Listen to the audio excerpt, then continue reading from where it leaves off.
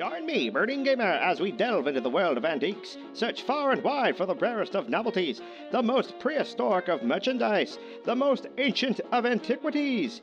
This is Vintage Victories! Good morning, good afternoon, and good evening. It is I, your host, Brooding Gamer, and some even call me the Dinosaur Man. It is a gorgeous April 24th. It is a Sunday, and like I said, it's absolutely gorgeous. It's currently 78 degrees, and it's not even 11. It's just past 11, uh, 8 after 11. So today, we are going to a big flea market called Trader's World. It uh, They have a lot of really cool things there, and I thought, why not check and see if we can find any old vintage it's not really i don't even know if we'd consider it vintage but jurassic world or hmm, jurassic park and the lost world anything figure wise anything in packs still i don't know uh if we can find anything it would be really freaking cool uh preferably something that's not going to be hundreds of dollars because I, I won't get it i can't get it but it's worth a shot to look and see what all they have so why don't you join us as we go to Trader's World and possibly find some old Jurassic Park stuff. Come on.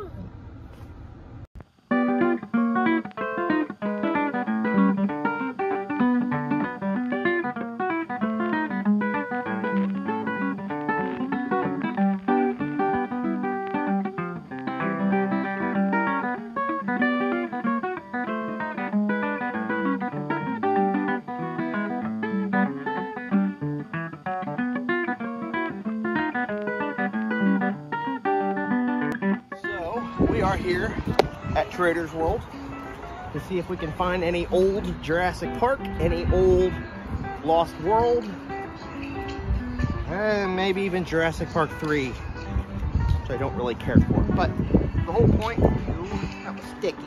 The only, the whole point, as you can see, this place is very unique. A lot of fiberglass animals, and apparently giraffes be their favorite thing. Used to be horses. They had horses all over the place. So go ahead and face over here, we're going to start with giraffe building number one. Seriously, what's with the giraffes? Uh, this is going to be a whole outdoor section, really cool. Um, this is like across the. Yeah. Oh, okay.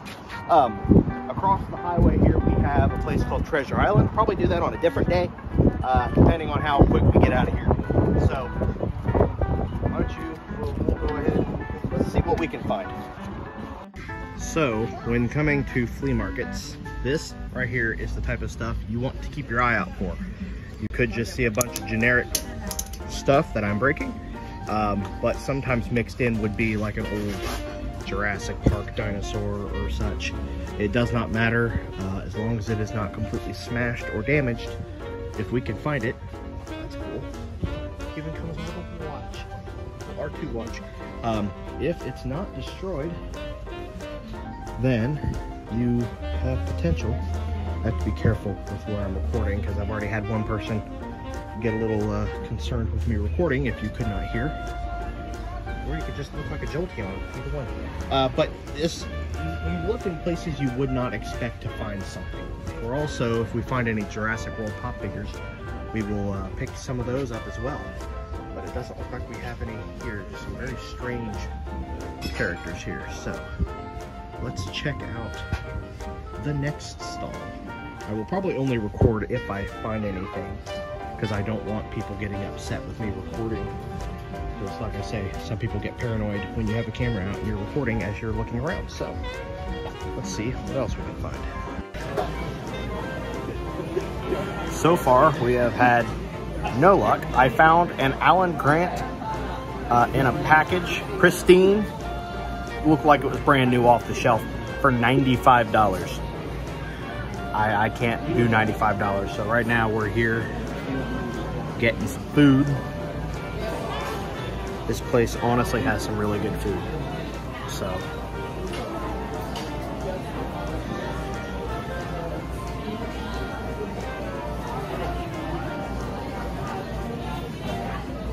just like school used to make. We're not having much luck today. Uh, so far, I've seen a $95 Alan Grant in the package and a man wearing shorts so short that I'm pretty sure it should be illegal. I think so, so too. I see it. Thank you. Uh, that I'm glad I got that on video. That was great. So we're not done yet. We're gonna keep checking out a couple other places, and I've decided we are gonna go ahead and go. oh, excuse me. Across the street to Treasure Island. See if we can get a little lucky. Well, we'll, we'll hopefully find something. So we'll check a couple more aisles and then probably head that way. We had no luck at Trader's World. They had the Kenner Triceratops and they had an Alan Grant. However, they were asking $70 for the Triceratops out of the box. And they were asking 95 for the Alan Grant. And honestly, the Alan Grant made more sense to me for being $95. Uh, out of the box Triceratops, even if it did have the battle damage attached to it, should not be $70. You're asking too much. Maybe if I had a lot more money to just blow, absolutely, I would do it. But I'm not. Look at my beautiful girlfriend behind me. She keeps hiding behind me, so she's not on camera.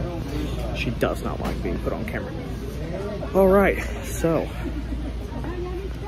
let's see if we can get lucky here. We are back at the apartment. And as you can see, I have two bags here. Leg on the couch. So what I'm going to do is I'm going to show you what I found at Treasure Island. I did not find these at um, uh, Trader's World. I did not find these at Trader's World. Found these at Treasure Island. I found both of these in one shop and this in another shop. Uh, I almost got two. Uh, this is definitely not a vintage item, but it's from a, well, it's from the first Jurassic Park movie.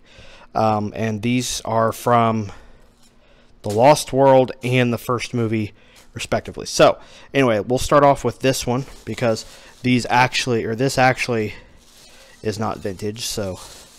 But we got, well, maybe. you can tell it's pop figure. Ian Malcolm, Target. Dr. Ian Malcolm doing his sexy pose.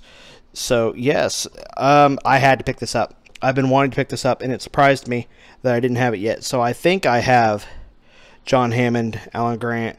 I know I have Dennis Nedry, and I think I've got all the others. I think I have a Velociraptor. But I think I still need regular Dr. Ian Malcolm.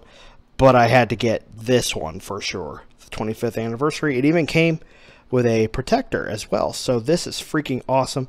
I absolutely have been wanting to pick this up. He only wanted 25. Well, actually, he was saying, selling it for 30, but I talked him down to 25. So that takes care of that. But these two items here, um, they're not in the best condition, and that is what you expect from a thrift shop or from a, a flea market such as Trader's World and and uh, we used to be called Turtle Creek, actually where I got a pet turtle once, but now it's Treasure Island. Um, so yes, really cool item here. So again, not the best condition. So we'll start off with well in order of the movie. So we'll start off with the Dilophosaurus, and of course it is missing the frill it does not make any sound. I actually haven't even tried to see if it makes sound, but everything, the mechanics all work. It actually looks fairly good condition, a little beat up on certain things, but nothing's fallen off, nothing's loose.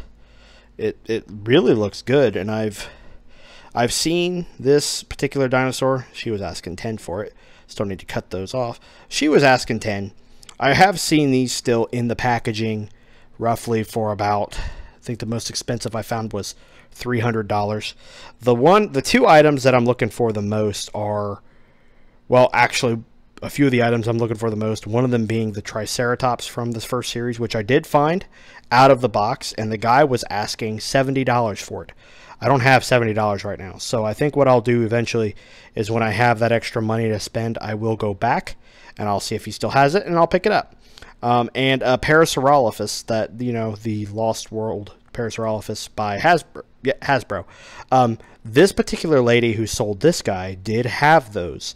However, that was years ago, and she actually remembered it. I showed her a picture, and she goes, "Yes, I had it, but I just sold it a couple days ago or uh, last weekend, so I missed it by a week." But I'm glad that I was able to find this at least, and I didn't realize it has a forked tongue. I don't know if I don't remember. Uh oh. Uh oh. There we go. Fix that. So these guys don't stand hardly at all. So I think what I'm gonna do is see if I can find. And of course, there's the Jurassic Park logo, and I forgot that I don't remember what the numbers on there were. If that was like the number dinosaur made or what. Even has the Dilophosaurus skull on there, which is cool. I need to find plastic stands so that way I can set it up like this and it actually stand. I could put it like under the chest or something there, sorry, under the neck or something and just have it prop up. That would be awesome, but I also am setting it up on a couch. So that is the the uh, the actual first vintage item we were able to find. Second item, pardon me, this one I am a little confused about, to be honest with you guys. If I can get it out of the bag. We have the Lost World ram head, the Pachycephalosaurus. Now, as you can tell, the head is actually tucked in right now. And the unfortunate thing is with this dinosaur, it has it is missing the battle damage. So I think what I may do is get on eBay or something and see if I can find a replacement for the battle damage on this one. Uh, this was one of the dinosaurs I was actually looking for. And of course, down here, let me see if I can zoom in or focus. We have Site B, Jurassic Park, and this is 23. Again, I'm not sure what those numbers mean. This is where I'm a little confused on this dinosaur. So let me let me fix his feet here so that way he stands. So as you can see, his head, get this bag out of the way, his head is tucked in, right? Usually, right on the back here, there's a button that you push and the head launches forward. I have looked all over the place online and everything I see has a button right here that you push. The original one that I had, that I actually sold in a garage sale, had a button right there as well. And I bought I got my Pachycephalosaurus from Trader's World, oddly enough, several, several years ago. And in fact, when I found him, no, I did not sell it in a garage sale. Actually, I had to throw him away because I found him at the bottom of a toy chest and his head had come off and the spring mechanism inside had come lo- unlodged so, or dislodged. So the whole guy was broken. He's got some, some paint chips here missing. But again, in the, the top of his chrome dome here has some wear on there. But what do you expect from a toy at this age that has been out of the box? Um, so I don't know. Oh! Wait, hold on, hold on. I think I figured it out. I think I figured it out. So the button is underneath and it's right here. Originally, they must have made a different version where the button was underneath because I could not find I thought this guy was like a misprint or something. So right in this area. Cool. So he does work. That's actually how he broke, by the way. I remember finding at the bottom of a toy chest. I opened him up, did that, and his head just went doink, kind of like a pen, like a broken pen. So yes, we found the Pachyce or yes, the Pachycephalosaurus. Again, I need to buy a, a, a like a stand, like a plastic something to prop him up. If any of you know where I can find something like that, I would greatly appreciate a link or something just to where when I start getting more of these guys, especially with like the Parasaurolophus and stuff that are probably going to be very front heavy, it'd be nice, especially with the Dilophosaurus as well, to prop them up. So yeah, those were the two vintage toys that we found today. I wish I had a lot more money to spend, or else I would have bought that Alan Grant that was still in the packaging, and I would have bought the Triceratops. I think I may go back eventually and see if I can find those. But we were lucky to find these three items here. Now, the lady who I, the shop that I bought these two from, she did have a load of other Jurassic World toys, but we weren't in the market for Jurassic World. We were looking for Jurassic Park. Um, unfortunately, she did not have the Parasaurolophus anymore, which is which is a bummer. But I'm uh, probably going to end up finding that online. We may do an online segment where I go and try and order a bunch of vintage toys online. Uh, but that would probably be no fun. So I think what I'm going to do, possibly this next Thursday, possibly, it is a huge possibly, I may go to a toy shop. It's like a collector's, a collection shop over by where my girlfriend works. I'm going to turn the camera for this one. And yes, I've got a headset on. I think I'm going to go to this, it's a little uh, collector shop, and I mean they've got everything from ceramic characters from Disney to old McDonald's toys, everything. Um, they he does have like a very small corner full of dinosaurs, and I I know for a fact I've seen this Dilophosaurus on that little shelf, so I may see if he has anything. He may not have anything to this extent, this quality right here, but we never know. So it's something I'm going to look into. So I do apologize how this video went. I did not record these guys, unfortunately, because um, I asked if it would be okay if I recorded, and the lady was so sweet, but she did request that I not record um, with her in the video, and unfortunately, there was no way for me to record these guys without her being in the video. So that is the cost of recording in thrifts in um, flea markets, you do get a lot of people, as you can see at the beginning of this video, uh, who do not like to be on video. And that's their choice. That is completely up to them if they want to be in the video or not. And even if they're just in the background, that still makes people uncomfortable. I had a lot of situations today at Traders World where I was recording, and people were coming up and I had there's the foot it's not in the footage but people were coming up and kind of like giving me looks and like you know shaking their head like and they were they were uncomfortable with me recording. And these days, like that, kind of like that lady who asked us to leave at Walmart um, a few weeks back. Unfortunately, you run into that kind of stuff. These days, people are weird, and a lot of people don't understand. Oh, I'm just doing this for YouTube, so don't worry. Um, they don't see it that way. So it is what it is. Uh, I will continue doing these, of course. Um, we may do more videos in the future of going back to Traders World because the and Treasure Island, the lady who I got these from said she gets things every weekend. So it's worth, and I'm sorry if I'm like at an angle here. Uh, she said it is worth to keep checking back. And we will do that. But I think this coming Thursday, I will go and check out that comic book store where they also, or not comic book store, but that old um, hobby store, hobby store, toy store, whatever you want to call it and uh, see if we can find. So I'm going to thank you guys for joining me on our first Vintage Victories video. I think we were definitely victorious in finding anything. I didn't expect to find anything. These were literally the last stop, last booth on our way out the door. Did not expect to find it, anything, and I saw the I saw the Packy, and as I was looking around, I then found him, and a lot of like I said, other Jurassic World toys. They had an Edmontosaurus, they had the Concavenator, um, all of which were out of box, which broke my heart, but it is what it is. So I'm going to go ahead and end this video off here. Thank you guys for watching. If any of you in the Ohio area, preferably remotely around the Dayton area, have any or know of any comic book stores or anything that sells vintage toys, by all means, let me know and I will gladly take a trip up there. Um, but again, preferably in the Dayton, Ohio area. Uh, I will drive outside.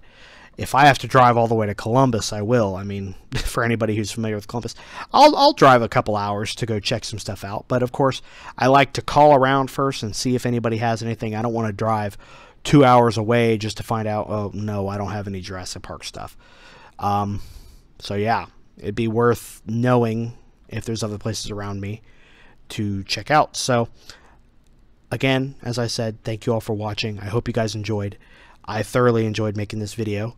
Um, so yeah, I'm going to go ahead and end this video off here because I really don't know how to end these off anymore. It just gets really weird and I start rambling.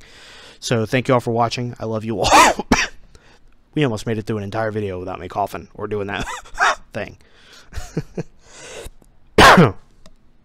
Thank you all for watching. I love you all. If you enjoyed this video, a like and a subscription would be fantastic if you'd like to see more videos. I am going to be posting as many of these as I can without overdoing it. Because again, I would also like to be able to go into my other videos, my games, and all that. I don't want my channel to solely be based on toys. Um, because it's expensive. Guys, seriously, I spent about $80 on everything total today. So this is yikers. this is a very expensive hobby, and it would be great to be able to find another thing. I am working on, unfortunately, I just bring up toys again. I am, haven't I ended this video like three times already? That's what I thought. Um, I literally just talked to the cat, who is. What are you doing? Are you okay? Why are you so weird? Weirdo. um, I am looking for the Captivz uh, brand for Fallen Kingdom. I found Fallen Kingdom Dominion.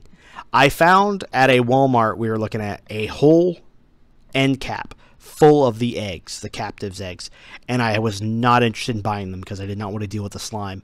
And then I saw ProC's uh, video where he opened up a large egg, got a big Giga, and he got a Therizinosaurus, and I instantly fell in love. And uh, I went back to that Walmart, and I walked around for no joke two hours. No eggs. I went to another Walmart. No eggs. I went to that Meijer generic Jurassic World eggs. They did not have Fallen or Dominion eggs. So that's another place. If anybody can give me an idea in Ohio where to find Dominion or Jurassic World Dominion Captivz eggs, like the big ones, I cannot find. I cannot find big ones anywhere, and it's killing me. It's driving me nuts. So if anybody can help me, if you're even willing to send me things. I will gladly start doing reviews and stuff. Uh, anybody know of any good websites that I can go to to find decently priced uh, vintage Jurassic Park toys? Pardon the hand there. I have even gone as far, and I can't believe I'm saying this, to look into getting the Demon Carnotaurus. He's expensive. One person is asking about $299 for the Demon Carnotaurus without the battle damage being included. The battle damage I have found for the Demon Carnotaurus running at 399. $399 for just the battle damage. That is how rare the Demon Carnotaurus is. I can't even find the normal Carnotaurus from Jurassic Park without spending an arm and a leg, so yeah, if anybody has any good website recommendations, any good store recommendations for old vintage dinosaurs of Jurassic Park and the Lost World, let me know. I will go if I can. If it's not three hours away, Lord knows I would even do three hours away. And the cat is reverse sneezing, if you can hear that.